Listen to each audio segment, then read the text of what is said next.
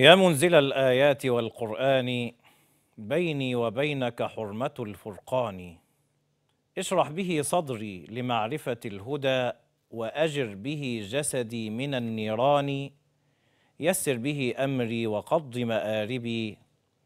أصلح به شأني وأحي جناني. أنت الذي صورتني وخلقتني وهديتني من حيرة الخذلان. ونشرت لي في العالمين محاسنا وسترت عن أبصارهم عصياني فلك المحامد والمدائح كلها بخواطري وجوانحي ولساني. الحمد لله الحي القيوم هو الباقي وغيره لا يدوم. رفع السماء وزينها بالنجوم وثبت الأرض بجبال في التخوم. والصلاة والسلام على سيدنا محمد النبي المعصوم. أما بعد فيا أيها المشاهدون الكرام طيب الله أوقاتكم وكلأكم بنعيمه وهدأ بالكم وأهلا ومرحبا بحضراتكم في لقاء إيماني يتجدد مع برنامج هذا ديننا. كل عام وحضراتكم والأمة الإسلامية جميعا بخير. بمناسبة حلول شهر رمضان المعظم. شهر رمضان الذي أنزل فيه القرآن. رمضان شهر الصيام. إذا ينبغي أن نتعلم كيف نصوم ونحن ندخل على أعتاب هذا الشهر الكريم.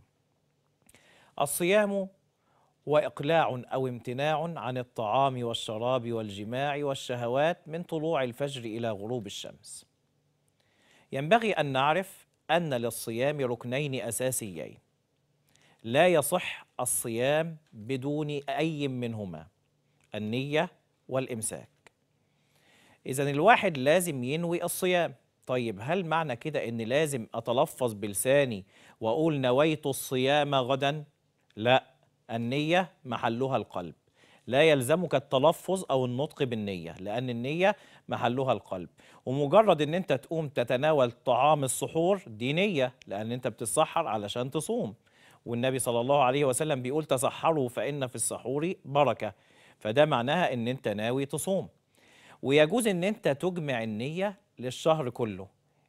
فتقول في نفسك نويت صيام شهر رمضان. من أول ليلة في ليالي رمضان تجمع الصيام تجمع النية لصيام الشهر كله. لكن الإنسان يمتنع عن المفطرات بدون نية لا الصيام كده مش صحيح.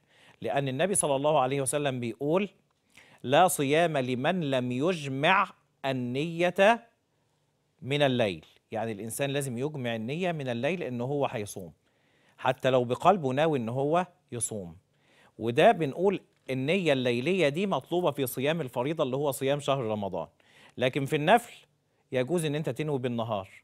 فقد روي أن رسول الله صلى الله عليه وسلم كان يدخل بيته ظهرا في الأيام العادية في غير رمضان فيسأل أهله هل عندكم طعام؟ فإذا قيل لا قال إني صائم.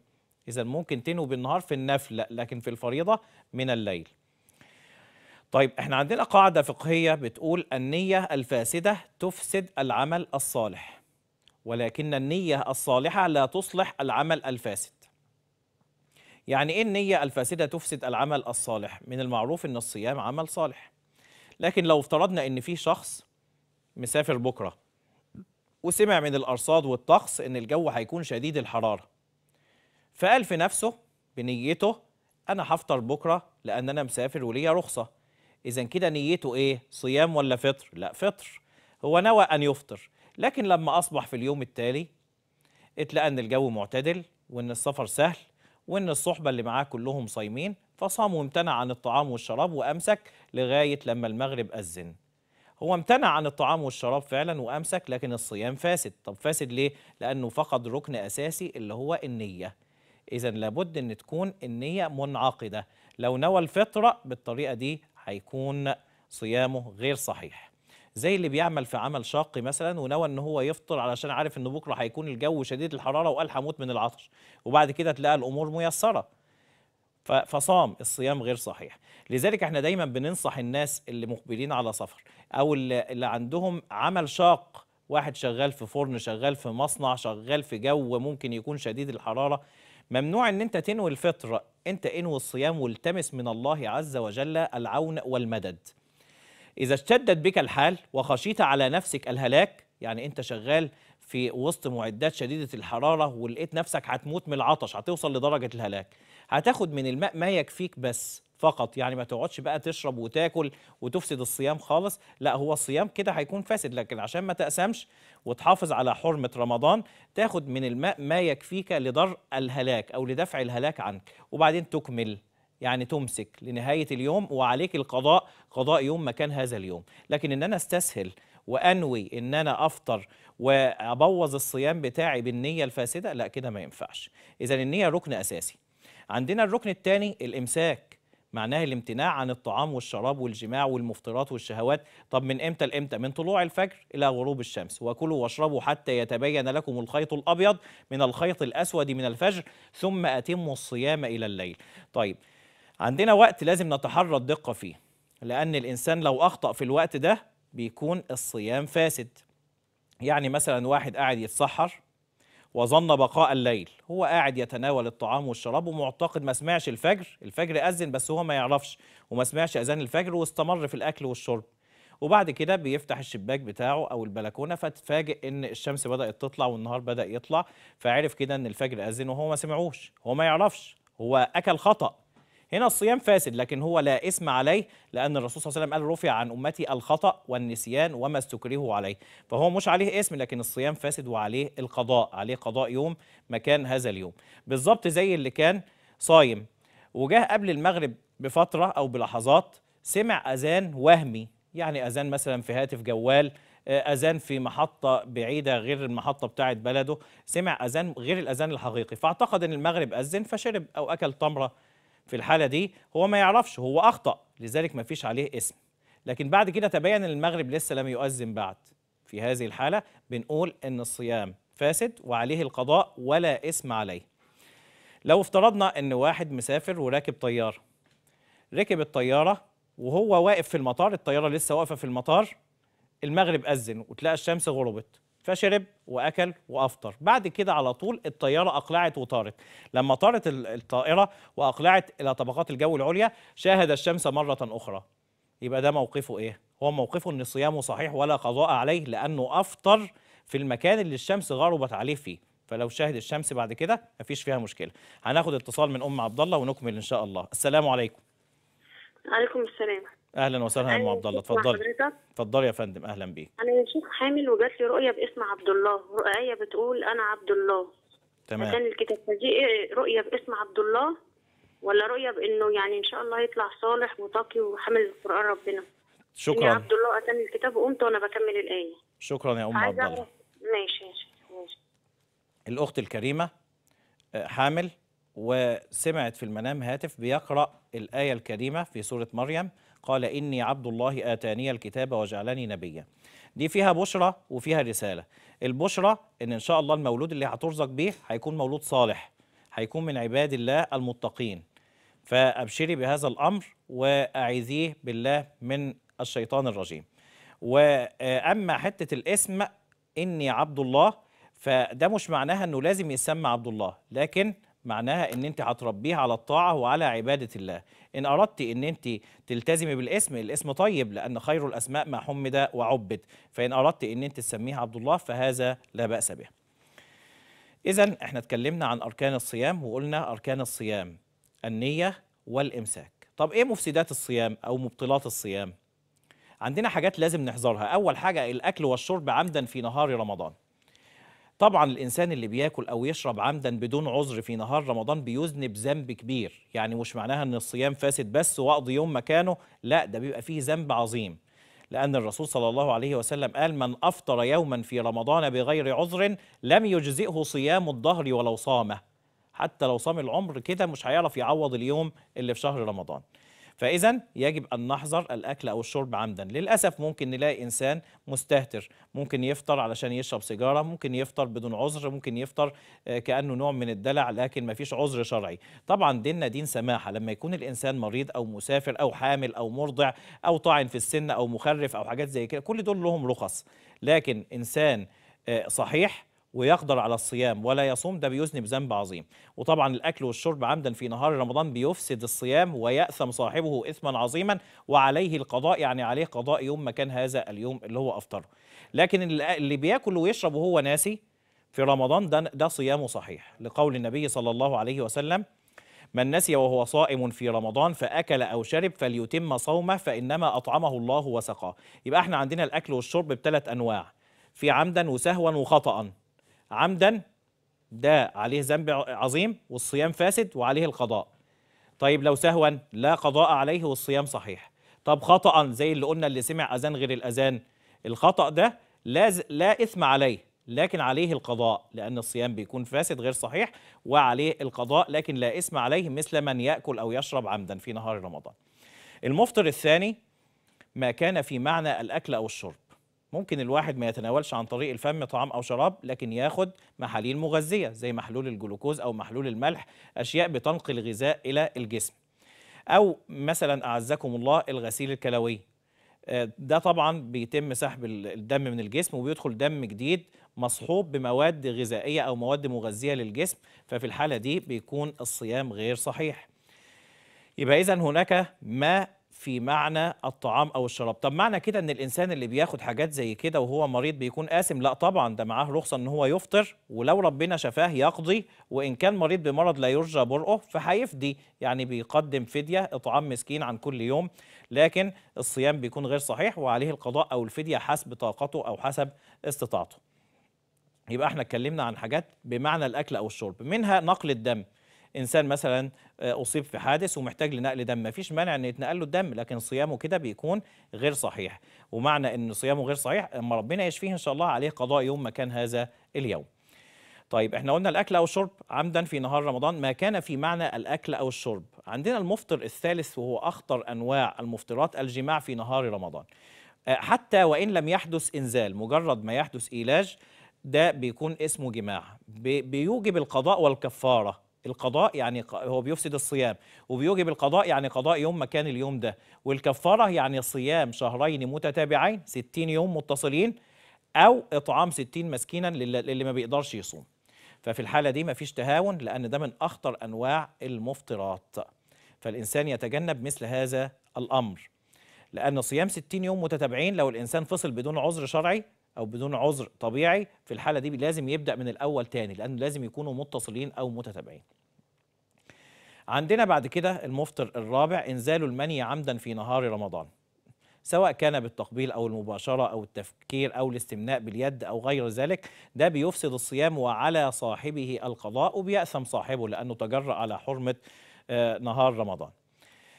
المفطر الخامس القيء عمدا في نهار رمضان. الإنسان اللي بيتعمد أنه يتقيأ فيضع إصبعه في حلقه أو يغمز بطنه أو آه، يشم روائح نفاذة حتى يتقيأ. الإنسان اللي بيتعمد القيء بيكون صيامه فاسد. لكن إنسان مثلا تعب أو داخ وغلبه الغثيان يعني تقاء استقاء غصب عنه دون إرادة منه ده صيامه صحيح. لقول النبي الكريم صلى الله عليه وسلم من استقاء عمدا فعليه القضاء ومن ذرعه القيء يعني غلبه القيء أو الغثيان فصيامه صحيح. يبقى إذن من استقاء عمدا فعليه القضاء ومن غلبه أو ذرعه القيء فصيامه صحيح ولا قضاء عليه. عندنا المفطر السادس هو دم الحيض ودم الحيض ده بينزل على المرأة في أوقات معروفة هي وقت الدورة الشهرية وبتكون السيدة عارفاه كويس آه، وبيكون له لون معين ورائحة معينة وزمن معين. ده ما بينفعش معاه إن ال- ال- الأخت تصلي أو تصوم أو تطوف بالبيت الحرام آه، أو تمسك المصحف. الحاجات دي معروفة آه، لكن بتتجنب في وقت الحيض. بيكون عليها قضاء الأيام اللي أفطرت فيها لكن مش عليها قضاء الصلاة. لكن يجب إن أي امرأة أو أي أخت تفرق بين الحيض والاستحاضة لأن بعض النساء بيتعرضوا لحاجة اسمها الاستحاضة وهي نزول دم في غير وقت الدورة الشهرية وده ما بيكونش دم حيض لأنه بيكون في زمن مختلف وبيكون بلون مختلف أو برائحة مختلفة والاستحاضة آه، ما بتمنعش المرأة من إنها تصوم أو تصلي. وقد سألت حمنة بنت جحش رسول الله صلى الله عليه وسلم عن الاستحاضة فقال إنما هي ركضة من ركضات الشيطان وما منعش المرأة من انها تصوم وتصلي وتطوف بالبيت وتقرأ القرآن وتمسك المصحف وهي في هذه الحالة من الاستحاضة. بعد كده عندنا لازم نعرف إن الموضوع ده دقيق جدا يعني لو أن امرأة نزلت عليها قطرة من دم الحيض قبل غروب شمس يوم من أيام رمضان بلحظة فسد صيامها وعليها القضاء.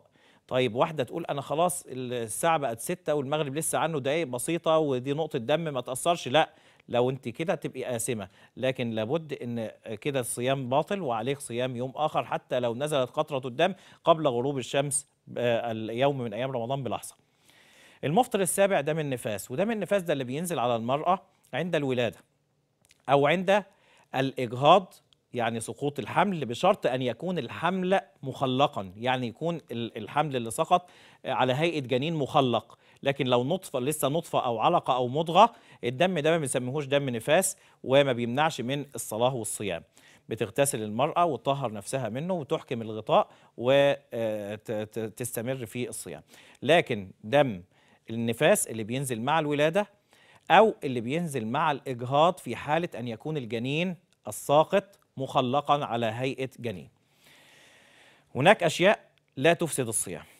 عايزين نقول من نسي وهو صائم في رمضان فأكل أو شرب فليتم صومه فإنما أطعمه الله وسقاه. يبقى اللي بياكل أو يشرب وهو ناسي صيامه صحيح.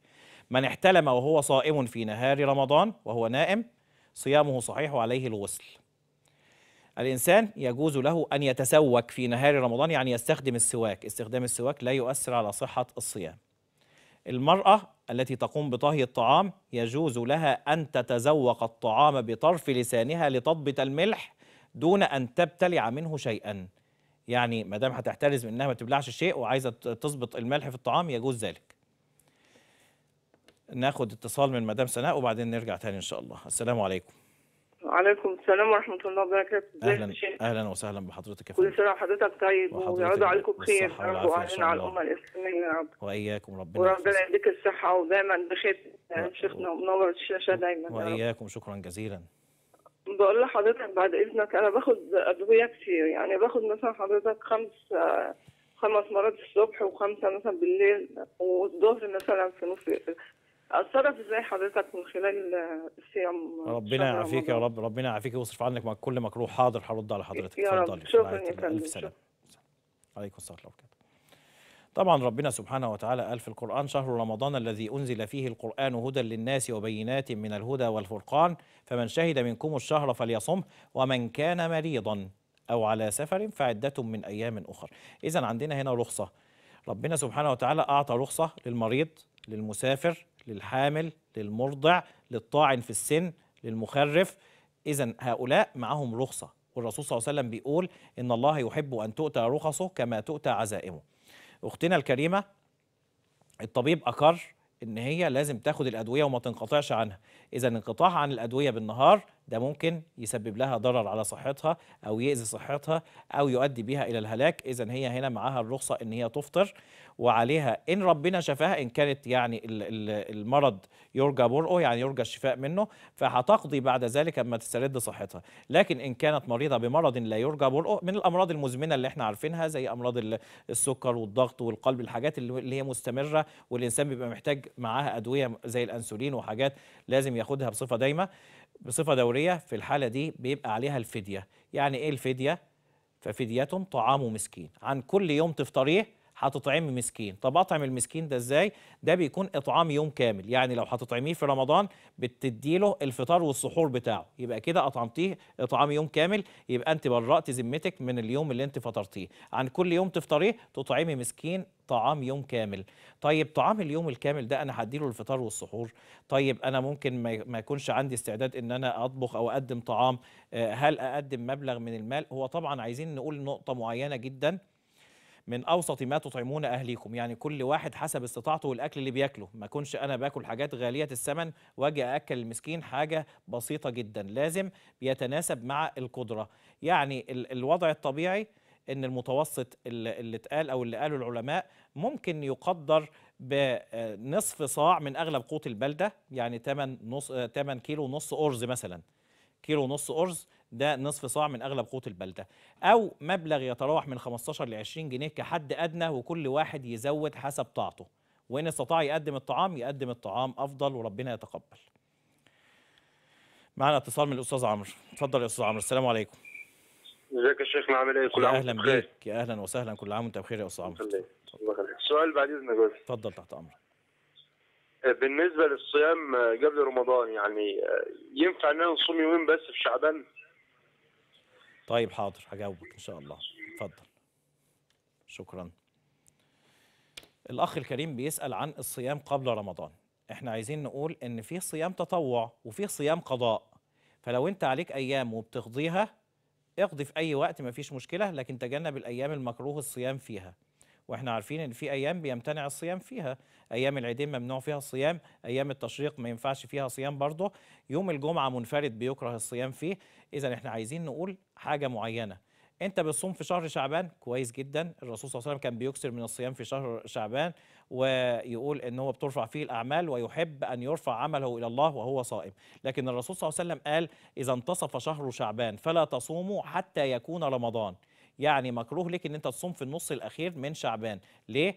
علشان تتقوى على استقبال شهر شهر رمضان. لكن المرأة اللي كان عليها أيام وعايزة تقضيها يجوز لها أن هي تقضيها حتى النهاية بس بتتجنب يوم الشك. طيب هنرجع للأمور التي لا تفسد الصيام. لا يفسد الصيام ببلع الريق. يعني في إنسان ممكن يقعد يبصق كتير في نهار رمضان ويخاف أحسن يبلع ريقه يوم كده يفطر. لا الصيام لا يفسد ببلع الريق أو غبار الطريق أو غربلة الدقيق. بلع الريق غبار الطريق غربلة الدقيق هذا لا يفسد الصيام. وزي ما قلنا السواك لا يفسد الصيام تذوق الطعام بطرف اللسان دون الابتلاع لا يفسد الصيام. عند شدة الحرارة يجوز التبرد بالماء. يعني لو الجو شديد الحرارة ممكن تتمضمض ممكن أتمضمض في غير وقت الوضوء. آه يجوز. ويجوز إنك تغسل راسك بالمية أو تغتسل بالماء أو تتبرد بالماء البارد. ده مفيش فيه أي مشكلة بس بشرط إن أنت تحترز من أن يصل أي قطرة من الماء إلى جوفك. ما توصلش حاجة للجوف. لكن التبرد بالماء جائز. بالنسبة للناس اللي بتاخد نقط أو بتاخد كحل. الكحل لا يفسد الصيام. يعني ال- الإنسان اللي ممكن المرأة يجوز لها أن تكتحل في نهار رمضان وهذا لا يؤثر على صحة الصيام. شم الروائح الطيبة. لا يؤثر على صحة الصيام لكن تتجنب البخور والدخان لأنه قد ينفذ إلى الحلق. بالنسبة للقطرة اللي بنحطها في العين هذه جائزة في نهار رمضان ولا تفسد الصيام. النقط اللي بتوضع في الأذن نقط الأذن هذه جائزة في نهار رمضان ولا تفسد الصيام. أما نقط الأنف النقط اللي بتوضع في الأنف هذه تفسد الصيام لأنها تصل إلى الجوف. فالنبي صلى الله عليه وسلم عند وصفه للوضوء قال وبالغ في الاستنشاق إلا أن تكون صائما لأن آه، هنا معبر ممكن يصل إلى الجوف. إذا نتجنب نقط الأنف لكن نقط الأذن ونقط العين مباحة. بخاخ الربو لا يفسد الصيام لأنه يتبخر قبل أن يصل إلى الجوف. غاز الأكسجين يعني التنفس الصناعي لا يفسد الصيام. هذا جائز. القرص الذي يوضع تحت اللسان في حالة الأزمة القلبية هذا لا يفسد الصيام ما دام ال- الإنسان الصائم سيتحرز أو يحترز من بلع أي شيء قد يتحلل منه. لكن القرص بيكون مغلف فما بيتحللش منه شيء والإنسان بيحذر أنه يبتلع منه أي شيء. اتفضل أستاذ محمد السلام عليكم. وعليكم السلام ورحمة الله وبركاته. أهلا بك يا أستاذ محمد اتفضل. السلام عليكم. عليكم السلام ورحمة الله وبركاته. يا أهلا وسهلا. أهلا بك يا أستاذ محمد اتفضل يا باشا. كل عام وأنتم من الله أقرب وعلى طاعته أدوم إن شاء الله. وحضرتك والأمة الإسلامية جميعا بالخير واليمن والبركات. نسأل الله عز وجل أن يبلغنا رمضان ويتقبل منا رمضان إن شاء الله. آمين يا رب العالمين. أنا هستأذن حضرتك توطي التلفزيون. أستأذن حضرتك أستأذن حضرتك سؤال إحنا ورد عن النبي صلى الله عليه وسلم. صلى الله عليه وسلم. سمع مع حضرتك؟ تمام. ورد عن النبي صلى الله عليه وسلم في أكثر من حديث أنه كان يصوم شعبان إلا القليل. نعم. آه طب كيف نوفق بين الرواية التي ورد عنها عنه أيضا أنه إيه إذا انتصف شعبان إيه فلا تصوموا. نعم. وهل الحديث ده صحيح ام أم فيه يعني فيه؟ حاضر حاضر يا أستاذ محمد. سؤال الله طيب. الله يبارك لك شكرا. جزيلا. جزاك الله كل خير. شكرا. اتفضل. الأستاذ محمد بيسأل سؤال طيب جدا. إن الرسول صلى الله عليه وسلم كان بيصوم أغلب شعبان وده حديث صحيح وما فيش مجال للتشكيك فيه. ولما سئل الرسول صلى الله عليه وسلم قال إن هذا شهر ترفع فيه الأعمال إلى الله وأحب أن يرفع عملي إلى الله وأنا صائم. والرسول صلى الله عليه وسلم في حديث صحيح آخر قال إذا انتصف شهر شعبان فلا تصوموا حتى يكون رمضان. سيدنا رسول الله صلى الله عليه وسلم له خصوصية في العبادة والدليل على ذلك إن الرسول صلى الله عليه وسلم كان أحيانا يصل الصيام مع أنه نهى عن صوم الوصال. فلما سئل عن ذلك يعني بعض الصحابة سألوه وقالوا له إنك تصل يا رسول الله يعني أنت بتنهانا عن صوم الوصال ومع ذلك بتصل. قال من منكم مثلي؟ إنني أبيت عند ربي يطعمني ويسقيني. ففي خصوصيات للرسول صلى الله عليه وسلم. بالإضافة لأن النهي عن صيام النصف الأخير من شعبان ليس نهي تحريم ولكنه نهي كراهة من باب كراهة التنزيه. إن الإنسان يتقوى حتى إذا دخل شهر رمضان يكون بكامل قوته ما يضعفش من صيام الفريضة. لأننا ما ينفعش إن إحنا نهتم بالنفل ونضعف في الفريضة. وأما اللي عليه قضاء فالرسول صلى الله عليه وسلم اقر بان هو يستمر حتى نهاية شعبان. وورد عن السيدة عائشة رضي الله عنها أنها كانت تقول كان يكون علي أيام من رمضان فلا أقضيها حتى يكون شعبان. يعني بتكون السنة بتعدي عليها وتيجي في شهر شعبان تصوم الصيام اللي متأخر عليه بنتكلم أيضا عن الأشياء التي لا تفسد الصيام بالنسبة لمنظار المعدة. بعض ال- الإخوة بيسألوا عن منظار المعدة. المنظار اللي بيدخل المعدة في الأصل لا يفسد الصيام لكن إذا كان مصحوبا بمادة دهنية تسهل دخوله إلى المعدة فإن هذه المادة هي التي تتسبب في إفساد الصيام لأنها تعتبر نوع من المواد المغذية. فإذا وصول أي حاجة مغذية للجسم بيفسد الصيام. طيب بالنسبة للحقن الحقن عندنا على أربع أنواع. في حقن للتداوي وحقن مغذية وحقن شرجية وحقن تخديرية. حقن التداوي اللي هي للعلاج وليست للتغذية دي لا تفسد الصيام سواء كانت في العضل أو في الوريد أو تحت الجلد. أما حقن التغذية زي محاليل الجلوكوز ومحاليل الملح ونقل الدم بالإبر والحاجات اللي زي كده فدي من المعروف إنها بتفسد الصيام لأنها بتدخل غذاء للجسم فبتكون بمعنى الأكل أو الشرب. الحقنة الشرجيه فيها اختلاف ولكن الرأي الأرجح أنها تؤثر على صحة الصيام وينبغي الاحتراز منها في نهار رمضان لأنها قد تصل إلى الجوف. أما الحقن التخديرية فبنقول إذا كان البنج لا يغيب الصائم عن الوعي طوال النهار فالصيام صحيح. يعني إيه؟ على سبيل المثال واحد راح يقلع ضرس فأخذ حقنة بنج دي ما غيبتوش عن الوعي عن الوعي. الصيام هنا صحيح ولا يتأثر. إنسان بيعمل يعني جراحة خفيفة وأخد بنج موضعي بحيث ما غابش عن الوعي. الصيام صحيح في هذه الحالة ولا يؤثر على صحة الصيام. بالنسبة لنزول الدم من الجسم نزول الدم بالرعاف الدم اللي بينزل من الأنف لا يؤثر على صحة الصيام. كذلك نزول الدم بقلع الضرس لا يؤثر على صحة الصيام. أو بشق الجرح إنسان اتعور مثلا اتجرح في إيده أو في رجله ده صيامه صحيح وهذا لا يؤثر على صحة الصيام. أحيانا بينزل نقطة دم بالشكة كده اللي بيعملوها لاختبار آه، السكر في الدم أو ما شابه ذلك. الشكة دي لا تؤثر على صحة الصيام. حتى سحب عينة بسيطة كده بسرنجة صغيرة لعمل تحليل دم لا يؤثر على صحة الصيام. لكن التبرع بالدم يعني إنسان بقى هيتاخد منه كيس دم كبير ففي الحالة دي ده بيفسد صيامه وعليه القضاء. يعني إيه؟ يعني ما تبرعش بالدم الواحد مريض وهيموت؟ لا اتبرع طبعا علشان تنقذ حياة إنسان. لكن اعرف إن أنت دلوقتي أصبح معاك رخصة إن أنت تفطر وعليك قضاء يوم مكان هذا اليوم ولا اسم عليك لأن أنت بتدفع مضرة. وإحنا بنقول إن عندنا قاعدة فقهية بتقول دفع المضرة مقدم على جلب المنفعة أو درء المفسدة مقدم على جلب المصلحة. أما التبرع بالدم فهو بيفسد الصيام قياسا على الحجامة لأن الحجامة فيها أقوال لقول النبي صلى الله عليه وسلم أفطر الحاجم والمحجوم. ناخد اتصال من الأستاذ عشري. السلام عليكم. السلام عليكم. وعليكم السلام ورحمة الله وبركاته. أهلا وسهلا. دكتور محمد. يا أهلا بك يا أستاذ عشري. أهلا وسهلا. حضرتك آه، عايز أسأل على الميعاد السحور. يعني يفضل إنني أكون سهران والسحر واصلي الفجر. ولا. انام وارجع أقوم للسحور. وعايز السنة فيها هل النوم أفضل إن أنا أنام وأقوم للسحور وأصلي الفجر ولا أكون سهران واتسحر وبعدين أصلي الفجر وأنام. حاضر. اتفضل. شكرا جزيلا.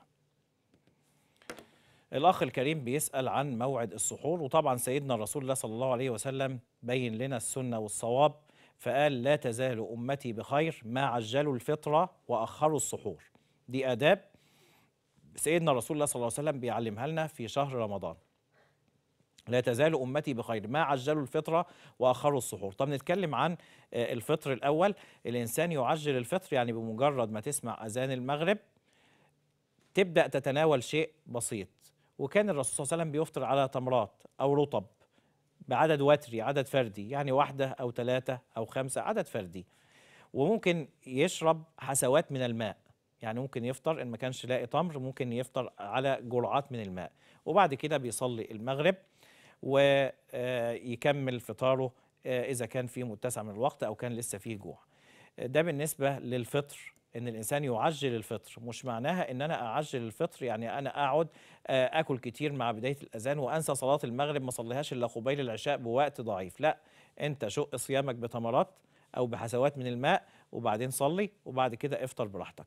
طب ده تعجيل الفطر. أما بالنسبة للسحور قالوا وأخروا السحور. تأخير السحور يعني في الثلث الأخير من الليل. وقت السحر اللي هو آه، الثلث الأخير من الليل اللي هو أفضل وقت بتتنزل فيه الملائكة. المولى عز وجل يتنزل إلى سماء الدنيا في الثلث الأخير من الليل آه، ليجيب دعاء السائلين ويغفر للمستغفرين. فالأفضل إن أنا ما أسحرش الساعة 12 ولا الساعة 1 وبعدين أنام وممكن أضيع صلاة الفجر. لا انت ممكن بعد ما تصلي العشاء وتصلي التراويح تنام وبعد ما تنام تقوم قبل الفجر بساعة مثلا على سبيل المثال وتبدأ تتناول طعام السحور وتصلي آه، التهجد إن استطعت ركعتين أربعة على حسب. لأن طبعا القيام زي ما إحنا عارفين الرسول صلى الله عليه وسلم زي ما قال من صام رمضان إيمانا واحتسابا غفر له ما تقدم من ذنبه كذلك الرسول صلى الله عليه وسلم قال من قام رمضان إيمانا واحتسابا غفر له ما تقدم من ذنبه والنبي صلى الله عليه وسلم أخبرنا طبعا اللي بيصلي العشاء في جماعة كأنما قام نصف الليل واللي بيصلي العشاء والفجر في جماعة كأنما قام الليل كله. لكن صلاة التراويح صلاة القيام قيام رمضان من العبادات الجميلة جدا. اللي إحنا ما ينفعش إن إحنا نسيبها لا في رمضان ولا في غير رمضان لأن العبادة دي تجعل صاحبها مستجاب الدعاء وتطرد عن جسده كل مرض وداء. العبادة دي بتنور وجه صاحبها في الدنيا والآخرة وتجلب له من الله الرحمة والمغفرة. ناخد اتصال من الأستاذ أحمد. السلام عليكم ورحمة الله وبركاته. السلام عليكم. وعليكم السلام ورحمة الله وبركاته يا أهلا وسهلا. أحمد معاك يا فندم. أهلا بيك يا أستاذ أحمد كل عام وأنت بخير. وأنت بخير يا فندم وكسان طيب. آه، بالنسبة للاقماع يا دكتور اللي بتتاخد آه، شكرا تمام. الش- الشرع. حاضر. تفسد الصيام أم لا تفسد؟ حاضر حاضر. شكرا جزيلا. ماشي يا أستاذ أحمد اتفضل. آه، الأخ الكريم بيسأل عن التحاميل أو الأقماع أو اللبوس ايا كان المسمى. اولا الأقماع الشرجية أو اللبوس الشرجي لا يفسد الصيام. طب ليه إذا كنا بنقول من شوية إن الحقنة الشرجيه ممكن تصل إلى الجوف؟ لأن ال- الأقماع بتذوب وتتحلل قبل أن تصل إلى الجوف. وده كان كلام الأطباء. بالنسبة لللبوس ال- الشرجي لا يفسد الصيام. كذلك اللبوس المهبلي الذي تحتاجه المرأة لا يفسد الصيام. كذلك الغسول المهبلي لا يفسد الصيام ولا يؤثر على صحة الصيام. إذا إحنا عندنا حاجات معينة لازم نعرف إن الدين بتاعنا يسر فيها. الدين يعني مش ما ينفعش إن إحنا نتشدد في أمور لأن في ناس مرضى وفي ناس تعبانين وفي ناس لها ظروف صحية. أما الإنسان اللي تعبان فعلا وبيعجز عن الصيام وممكن الصيام يضره فالرسول الكريم صلى الله عليه وسلم اداله الرخصة وقال إن الله يحب أن تؤتى رخصه كما تؤتى عزائمه. سيدنا رسول الله صلى الله عليه وسلم علمنا آداب يجب إن إحنا نلتزم بها في شهر رمضان. من الآداب دي لازم نحفظ اللسان يا جماعة. حفظ اللسان لأن الرسول صلى الله عليه وسلم قال رب صائم ليس له من صيامه إلا الجوع والعطش. يعني ممكن إنسان يمتنع عن الطعام والشراب لكن يقعد يتكلم في سيرة الناس ويغتاب ويشتم ويسب. يعني معنى كده يا مولانا إن الصيام فاسد؟ لا الصيام مش فاسد لكن صاحبه آثم ونقص الأجر. يعني إيه نقص الأجر؟ يعني أساسا الصيام ما شرع علشان إيه؟ شوف ربنا بيقول يا أيها الذين آمنوا كتب عليكم الصيام كما كتب على الذين من قبلكم لعلكم تتقون. فالصيام لم يشرع تعذيبا للنفس البشرية وإنما شرع تهذيبا لها لأن الصيام بيرتقي بالجانب الروحي في الإنسان. فالإنسان يستخدم لسانه في ذكر الله ما يستخدمش لسانه في السب والشتم والصياح والضجيج والغيبة والنميمة والبهتان والكذب. الرسول صلى الله عليه وسلم كان بيحذرنا من أصناف بيسيئوا استخدام اللسان. منهم الخراصون والسقارون والمتفيهقون والمتنطعون. يعني إيه الكلام ده؟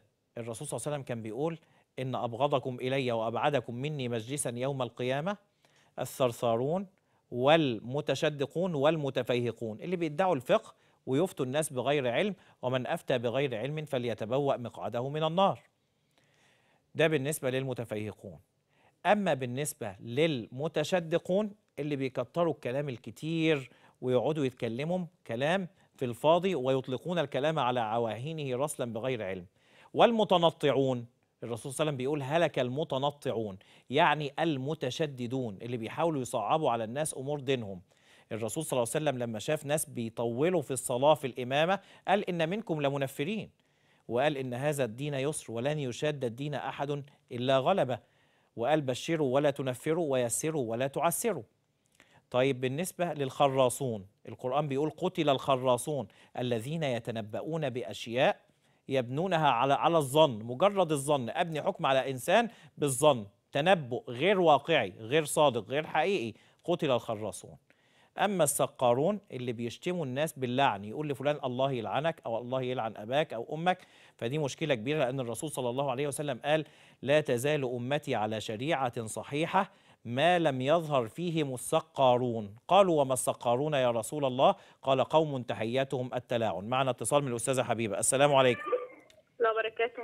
أهلا بك يا بس- حبيبة. سام الشيخ آه، جوزي ما بيعرفش يعمل حمام الا الا بالميه هل ده يفقد صيامه؟ طيب اتفضلي. شكرا جزيلا. اتفضلي.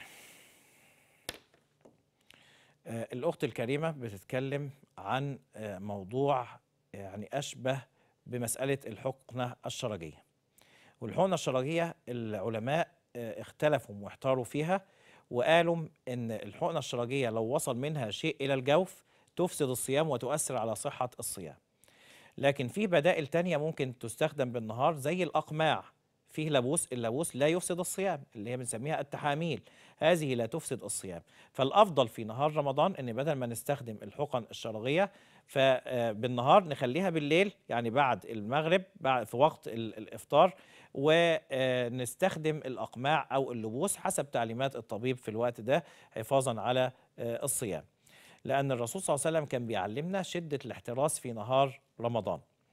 وإن كان طبعا الحالات المرضية لا تعامل كمن يفطر بالأكل أو الشرب عمدا ده بيكون له مصيبة كبيرة لأن الرسول صلى الله عليه وسلم وهو في رحلة المعراج السماوية رأى قوما معلقين من عراقيبهم مشققة أشداقهم وأفواههم تنزف دما تسيل دما. فقال من هؤلاء؟ قيل له هؤلاء الذين كانوا يفطرون قبل تحلة صومهم. يعني بيتناولوا الطعام والشراب في وقت الصيام. ناخد اتصال من الأستاذ جمال. السلام عليكم. من فندم السلام عليكم. أهلا بك يا أستاذ جمال. أهلا بحضرتك وكل أهل البحيرة. يا اتفضل. فندم. الله يكرمك. وطي التلفزيون وطي. التلفزيون يا أستاذ جمال لو سمحت عشان نسمع كويس. أنا عاوز حضرتك حضرتك إحنا بنيجي ساعة آذان الفجر بالظبط وبنشرب كلنا مية ساعة الآذان. فهل هل ده يعني يجوز أو في وزر أو في اسم حاضر حاضر يا أستاذ جمال ووقف آخر آخر يعني إيه متى يعني آخر الإمساك يكون إمتى؟ مع. مدفع الإمساك ولا قبل الأذان بقد إيه؟ حاضر. وجزاكم الله خيرا. اتفضل آه، الأخ الكريم بيسأل عن آه، وقت الإمساك يعني بيقول إن بعض الناس آه، مجرد ما بتسمع الأذان بتشرب مية والأذان بيأذن هو طبعا إحنا عايزين نتعلم حاجة. القرآن قال لنا وكلوا واشربوا حتى يتبين لكم الخيط الأبيض من الخيط الأسود من الفجر ثم أتموا الصيام إلى الليل. مهم جدا إن إحنا نتحرى وقت الإمساك. طيب مدفع الإمساك ضرب هل خلاص ما عادش ينفع إن أنا أشرب أو آكل؟ لا ينفع. أنت معاك لغاية الأذان.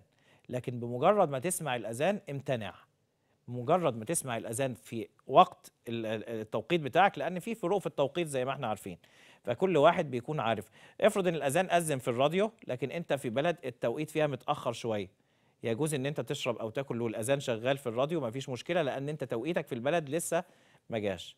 و- و- و- بس تراعي برضو إن توقيتك في الفطر هيتأخر شوية. يبقى اذا إحنا نراعي التوقيت. وفي نفس الوقت مجرد ما تسمع الأذان مش مشكلة لو سمعت مدفع الإمساك وأكلت أو شربت هذا جائز. لكن مجرد ما تسمع الأذان امتنع عن الطعام والشراب علشان تحافظ على الصيام وربنا يتقبل منا جميعا إن شاء الله.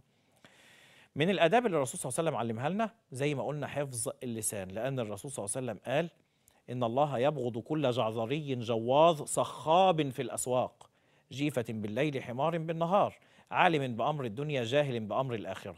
إن الله يبغض يعني يكره.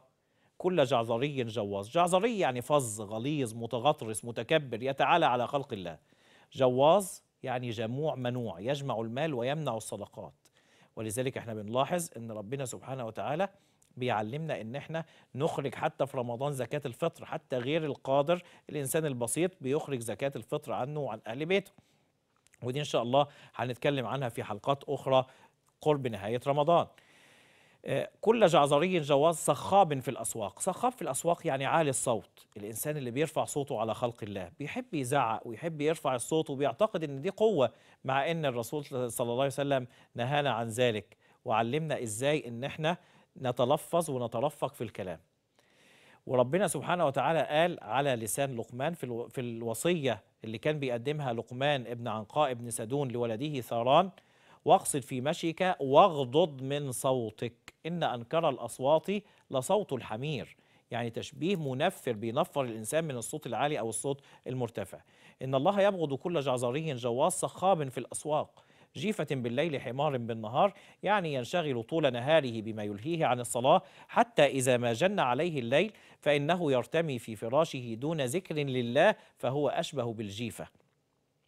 عالم بأمر الدنيا جاهل بأمر الآخرة. كل كل همه أن يزيد رصيده المادي في في الدنيا. عايز بس يجمع أموال يشوف بقى معاه رصيد قد إيه كسب من التجارة دي قد إيه جاب بضاعة قد إيه ده كل تفكيره. لكن لا هم له أن يكون له رصيد من الأعمال الصالحة أو من الحسنات في ميزان الأعمال عند الله يوم القيامة. رغم هول هذا الموقف الإمام أبو داود يروي حديثا عن سيدنا الحسن يقول كان رسول الله صلى الله عليه وسلم واضعا رأسه في في حجر السيدة عائشة. نكمل الحديث بس لما ناخد اتصال من الأستاذ علي. السلام عليكم. السلام عليكم. عليكم السلام ورحمة الله وبركاته. أهلا بك يا أستاذ علي. اتفضل. أهلا بيك يا فندم. وعليكم السلام ورحمة الله وبركاته. أستأذنك وطي التلفزيون بس عشان نسمع كويس؟ بسأل على مواعيد الزكاة. حاضر. بسأل على مواعيد الزكاة حاضر يا أستاذ علي. حاضر.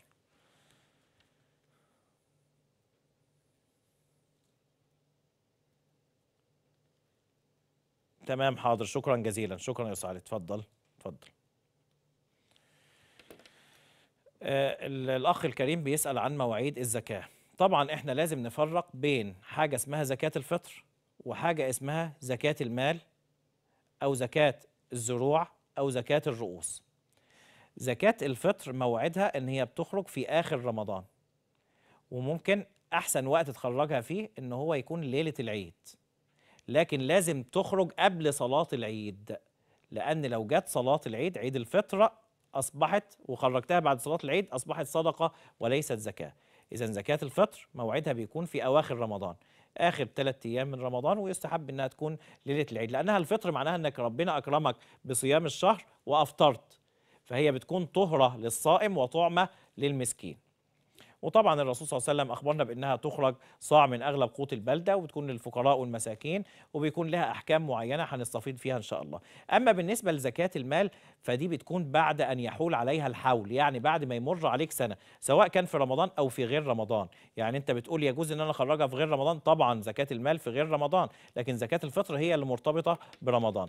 أما زكاة المال فإنها تجب على من امتلك مبلغا من المال يصل إلى النصاب، النصاب يعني ثمن 85 جرام ذهب آه، عيار 21 إذا كان معاك مبلغ ممكن تشتري بيه 85 جرام ذهب في الحالة ومر عليه سنة كاملة معاك مع آه، براءة الذمة من الديون وتمام الملكية يبقى كده وجب عليك إن أنت تخرج عليه زكاة المال وبتقدر بربع العشر يعني عن كل 1000 جنيه 25 جنيه. في الحالة دي بتحسب زكاة المال بمجرد أن يحول الحول وتخرجها بعد تمام الحول. أما زكاة الزروع وقت الحصاد زي ما إحنا عارفين زي ما القرآن قال وآتوا حقه يوم حصاده. وفأولا وأخيرا نتذكر أن الرسول صلى الله عليه وسلم يقول يقول ابن آدم مالي مالي وليس له من ماله إلا ثلاث. ليس له من ماله إلا ما أكل فأفنى أو لبس فأبلى أو تصدق فأبقى. ولذلك إحنا عايزين نقول إن في غير الزكاة في صدقات. وطبعا زي ما رمضان شهر الصيام ورمضان شهر القرآن رمضان شهر الصدقات. إذا وقف العباد في ساحة العرض على الله يوم القيامة نادى مناد من قبل الله على الفقراء. فيقول لهم رب العزة انظروا إلى عبادي هؤلاء فمن كان منهم قد تصدق عليكم بصدقة في الدنيا فخذوا بيده إلى الجنة فقد شفعتكم اليوم فيه. إذا اتقوا النار ولو بشق تمرة ولو بشربة ماء. يؤتى برجل يوم القيامة فيحاسبه الله فلا يجد في ميزان أعماله ما يدخله الجنة فيؤمر به إلى النار. وبينما هو يساق إلى النار إذ يجد رجلا يعرفه من أهل الجنة يقف في أرض المحشر فيقول له يا فلان أما تعرفني؟ أنا الذي سقيتك في الدنيا شربة ماء. فيقول هذا العبد يا رب إن عبدك هذا سقاني في الدنيا شربة ماء. لا يقول أكثر من ذلك لأنه لا يملك الشفاعة. فيقول له رب العزة فخذ بيد أخيك إلى الجنة فقد شفعتك اليوم فيه. إذا ينبغي أن نراعي الفقراء والمساكين والضعفاء ولا نكون كما قال القائل كلوا واشربوا أيها الأغنياء وإن ملأ السكك الجائعون ولا تلبسوا الثوب إلا جديدا وإن لبس الخرق البائسون. ويا فقراء لماذا التشكي؟